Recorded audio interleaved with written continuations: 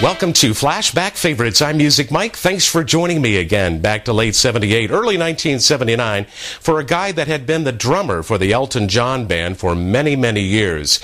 He reached number 18 on the Billboard Hot 100 with a song written by Carl Storie of the Faith Band from Indianapolis, Indiana. Here is Nigel Olsson with Dancing Shoes on Flashback Favorites. Too many long conversations no one is hearing a word.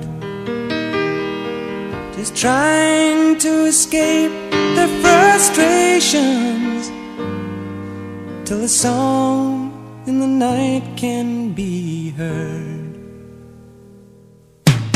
Put on your day.